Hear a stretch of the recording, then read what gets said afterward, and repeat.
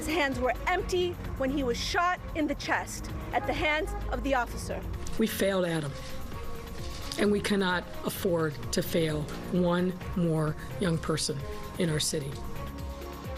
A family in mourning, a city in shock, and a police force facing new criticism after the shooting of 13 year old Adam Toledo. Welcome to WGN TV Political Report, everybody. I'm Paul Lisnek. Let's get right to our top story. On Thursday, the city releasing a dozen videos and audio clips, body cam footage, security film, and more showing the final moments of Adam Toledo's life. Now, what you see is the split second confrontation between the 13 year old and a Chicago police officer in the Little Village neighborhood in the early morning hours on March 29th. Police say Toledo was armed with a gun, threw it behind a fence before he was shot. Lawyers for the Toledo family insists his hands were empty when the single fatal shot was fired. Joining me to talk about all of this and more is 22nd Ward Alderman Michael Rodriguez, 2nd Ward Alderman Brian Hopkins, uh, 15th Ward Alderman Raymond Lopez, and 5th Ward Alderwoman Leslie Hairston. Welcome to all of you. I should note uh, we air on Sunday morning. We almost always do this uh, on Sunday morning, of course. We're taping this uh, on Friday. And so I have to say that because who knows what the weekend holds. Uh, and so I think it's only fair that we make that point. Um, Alderman uh, uh, Rodriguez, let me start with you because this happened in your ward. The video now viewed by the public, viewed by the world, actually. And it, it does appear in the video that it looks like Adam pr probably had a gun in his hand, but not at the time that he was shot. What is the pulse of the ward, of Little Village area, of your community right now? What was your sense of this tape? Well, first of all, thanks for having me. And the shooting occurred one block outside of my ward. However, the Toledo family lives three blocks from my home in my ward. You know, the fact of the matter is the young man had his hands up and there was no gun in his hand. Um, that violence, that tragedy that we experienced several weeks ago and we experienced yesterday in viewing the video is um, absolutely put our community uh, in a very difficult situation. People are hurting. People are very upset um, on a lot and a lot of different reasons. And most notably, I think people are, are, are justifiably upset about the fact that we have another uh, black or brown young person who's uh, been killed by the police.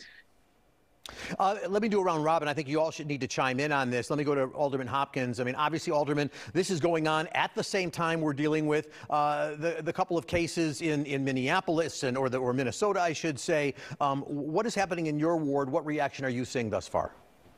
You know, uh, the preparation that's underway right now uh, is really unprecedented. And I will say that preparation doesn't necessarily mean boarding up windows and having police officers stand by for potential civil unrest that we've seen in Minneapolis and other cities. So far, every credible voice in the city of Chicago, the faith leaders, the politicians, the leaders of social justice organizations, everyone has appealed for peace. Everyone has said, let's have our demonstrations. Let's express our grief, even our outrage about what happened. Let's do it without arson. Let's do it without looting. Let's do it without violence. Let's not besmirch the memory of this young man by having an outcry that leads into violence like we've seen in other cities. I know we're taping this on Friday and it's going to air on Sunday.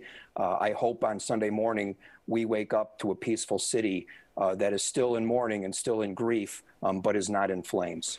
Alderwoman Hairston, uh, your sense of this, and uh, one of the difficult parts, of course, is that this does involve a 13-year-old boy. Uh, and I, have heard some of the folks you've heard, well, he's a man, he's a 13-year-old. You're 13 years old, you are a boy. Uh, how are you impacted on this?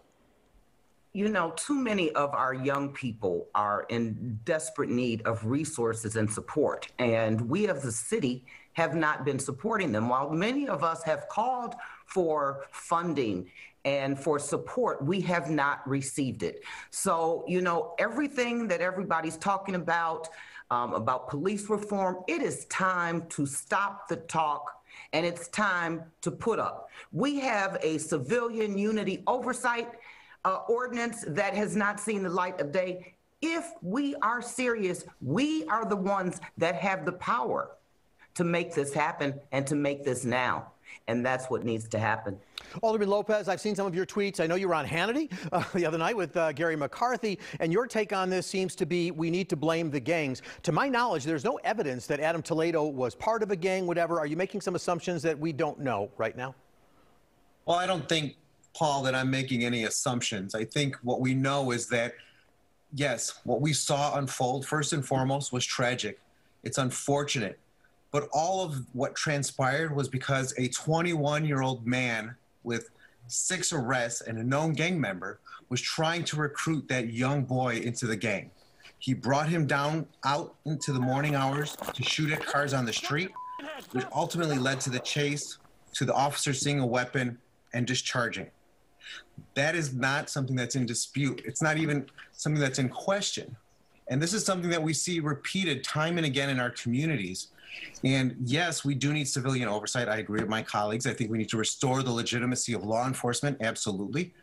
But we also have to stop dancing around the issue that gangs are a problem and a identifiable threat in our communities, actively recruiting our children to be the next generation of gang members in the city of Chicago.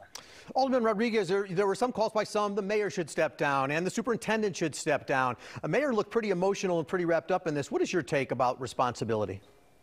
Well, first of all, I want to agree with uh, my colleague, Alderman Hopkins. You know, uh, the mother of Adam Toledo, Elizabeth Toledo, said that to honor um, Adam's memory, um, we should call for justice. We should be vocal for the cause of justice, but those calls should be peaceful.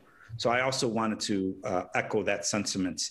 It's a time for leadership, and we all need to lead. I'm, I'm very hurt. My community's very hurt, but we don't need to cause more pain. And I think um, his mother said that he was a sweet boy. Uh, he had his whole life ahead of him, but he didn't. She didn't want anyone to die in his name or to commit violence in his name.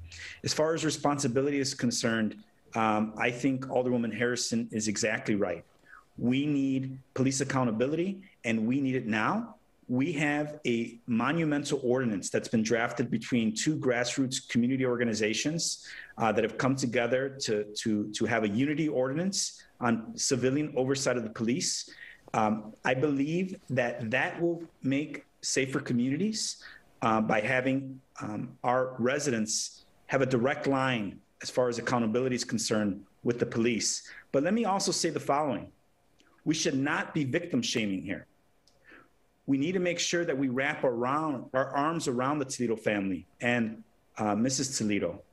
And any sentiment to the contrary is, at the very least, uh, malput and at very most extremely ignorant to the to what the actual issue here is. A 13 year old boy had his hands up and he was shot. I know you all want to respond. I know you all want to respond to that. I'm going to let you do that, but first we have to take a break. So please don't go with us. Our first break is coming, but they're staying around. We'll be right back.